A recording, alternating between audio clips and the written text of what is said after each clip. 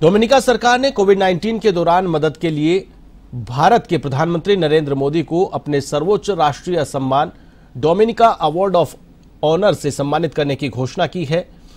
उन्हें यह सम्मान जॉर्जटाउन, गोयाना में आयोजित भारत कैरिकॉम शिखर सम्मेलन में एक समारोह के दौरान दिया जाएगा। डोमिनिका की राष्ट्रपति सिल्वेनी बर्टन यह पुरस्कार प्रदान करेंगी। यह पुरस्कार कोविड के दौरान डोमिनिका में प्रधानमंत्री मोदी के योगदान और भारत और डोमिनिका के बीच साझेदारी को मज़बूत करने के प्रति उनके प्रयासों के लिए दिया जाएगा।